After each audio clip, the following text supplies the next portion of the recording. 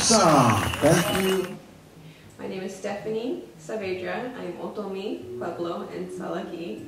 And this is Saginaw Grant. He's from the Sac and Fox tribes. And this evening we're going to be talking about um, various aspects of culture and traditions. And even after I mean, Native Americans didn't become citizens until 1924 or 1940.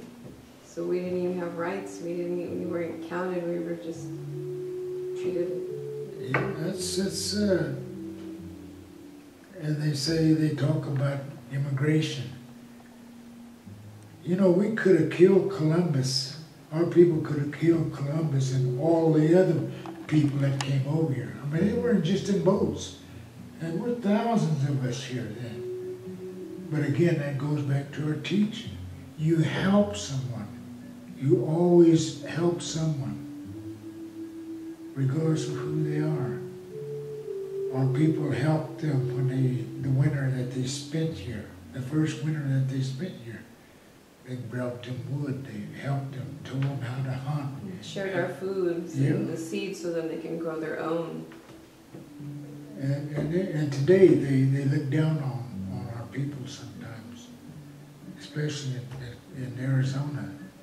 That Caucasian woman, governor there, she has no right to be here, just like this shirt that I have on. It's just, uh, says, I'm not Illegal. illegal, I'm native. yeah, and on the back, On the back it says, illegal immigration began in 1492. Yeah, and that, that's true. It really is. And they say, well, why didn't why didn't you do something? We could have killed them people. They, they, our people, if they were that, they call us savages. If we were that savage, we would have killed them and not let them come ashore. Exactly. They, they don't think. They don't stop and think. As long as they got money, that, that's where their power is. Do you think that, because some of the, especially with history, was taught in the schools, do you think that educating these people might help them to have some type of an awakening? Yes, I know it would. If they would teach their children. But they don't they don't teach their children anything, how to live life, what to do in life, what to do in situations.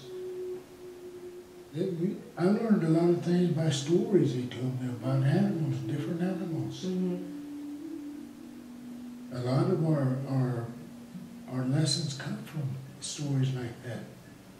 But we, we're failing to do that today. I'm involved with a movie that we're going to make that will try to bring back our traditions and our philosophy of how to live life. There'll be situations in it that pertain to these things that we were taught or should have been taught. Even today, some of our elders don't take the time to talk and teach their children anything anymore. That's sad. And that's one thing I feel that I've, I've neglected to do was to reach out more. But I, I have a lot of young friends who who I talk to and tell stories to. Jake, for instance, the little guy that's always dancing with me, he's mm-hmm. always out there. Him and him and uh, the, another little boy that, that's always coming out there. Well, several of them. One even has he wears wears wraps on his on his, on his hair. You know, that's uh, I try to live a traditional way. I don't uh, I don't do a lot of things that the people that I work with do. And I'm satisfied. I don't have to I don't have to have all the things that they have because I, I believe that I can share with other people, like the homeless, for instance, give them money. I mean, I, give them money, but also teach them a lesson by talking to them and letting them know why I'm doing it. And uh, it just uh, it makes me feel good when I do these things. Right.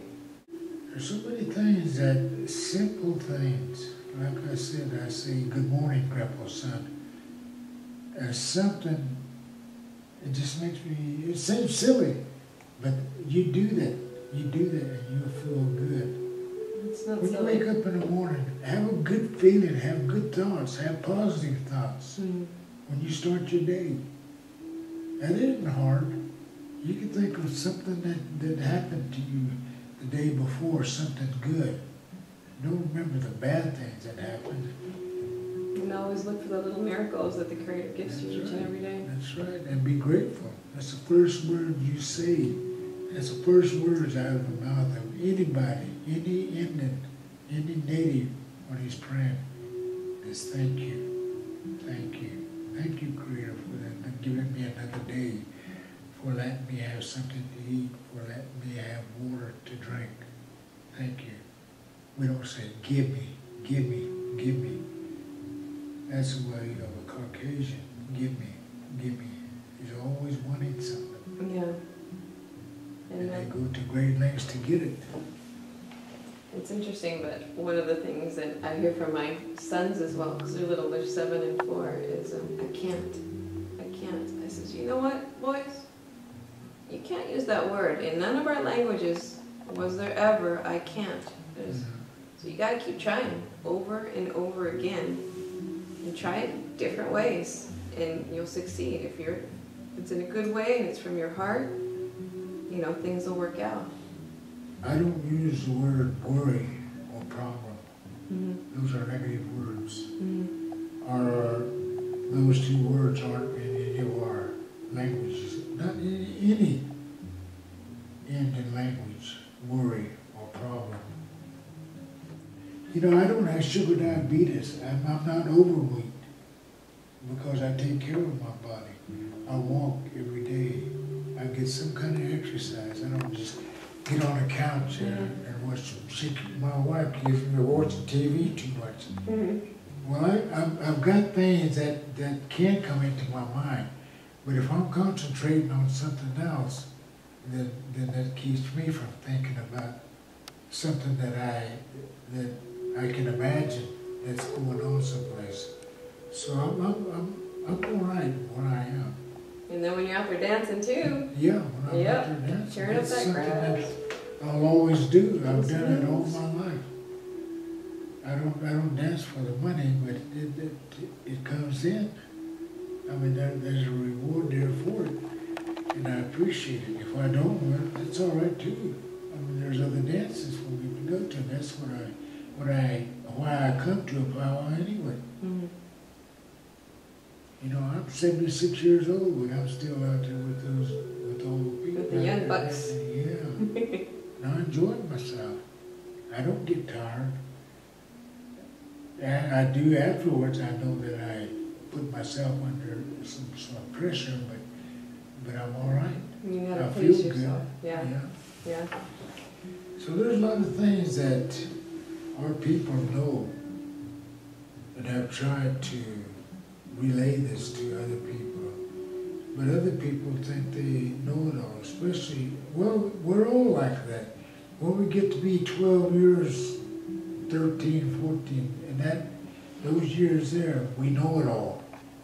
That's when we start talking back to our folks. Mm, That's when we think that we know everything that's going on, and we don't know nothing about life.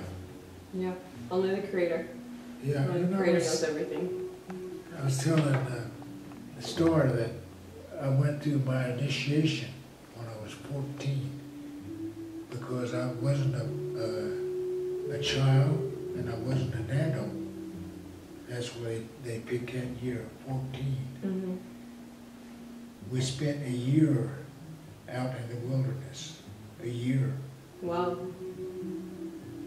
From spring to spring. Wow. But you're prepared to do that. Ever since I was a child, ever since I was a baby, they told me about what would take place in my life. So when it did come about, I was able to adjust to it and do what I needed to do. I was taught how to take care of myself. I was taught about things that I had to do to get food, to to survive. Mhm. Wow. That's impressive. And when that time came for us to come back down, it was a, it was a great feeling of accomplishment because we'd been, been through that. And it was all part of a ceremony. Oh, yeah, yeah, that was our initiation. Everyone has some sort of initiation, like Sundance and Mm-hmm. different things that you go through. It's not to mutilate ourselves or anything like that, it's to give us the knowledge that we don't have to have all the conveniences that, that are around us today, but we can survive and, and, and live a good life. There were times, I didn't even get lonesome. I knew that my folk, where my folks were, how they were getting along, but we couldn't communicate with no one else, Mm-hmm. just, just as, as boys. But we did, and, and everything worked out for us. So you had to endure the winter while you were out there as well? But we, down there, I mean, in the, in the village, they have kivas, Mm-hmm. you know, where they have dance ceremonies and dancing down there. They said, you can come in late at night and stay there in the Mhm. wintertime.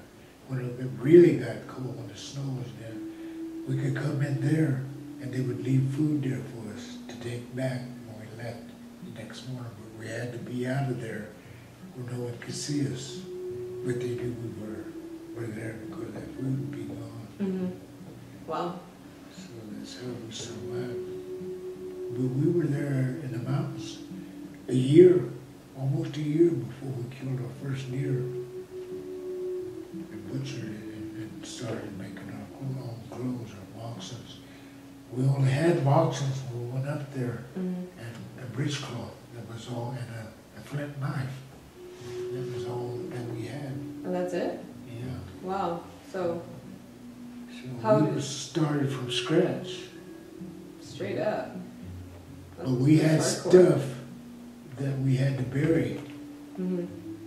tools that we made, things that we accumulated while we were there. We all didn't stay together, was at different places, different, I mean, where we could see each other. But we had our own place, Mm-hmm. and we accu- accumulated our stuff, the things that we made, the things that we, we, we had. We had to bury it and leave it there when we came back down. And hope it was still there. Uh, yeah, well, it could be. So how did you prepare the hide then? Did you bring tin or how did you, what did No, you we, use we to, just uh, worked it. To We had no brains to. to, to, to You work no brains, I love it. But then we survived, and I, to this day, I, I don't. I don't know how we did, but we That's a we lot didn't of think work. we didn't think about it. Mm-hmm. We didn't, there was no nothing negative about anything we thought of. We knew that we had to do it. We knew that we it was up to us. Right. It. And bigger animals are definitely better. Otherwise you have, you know, But like I said, that, that first deer that we killed, we didn't kill it outright. We had shot it with a couple arrows, and then we had to chase it down because I mean, to, Yeah. to bleed after it uh, got weak from, from running for a while. It finally died. Mhm. And we, but we trailed it, But we had plenty of berries, a lot of roots and, things that we we knew about how to survive. We just we weren't hungry. We didn't starve. Mhm. Fish, could fish, and other things that when you really put in that kind of position, you can do. Mhm. What, did you use any type of traps or anything? No, just uh, what we had for you, we had to use our hands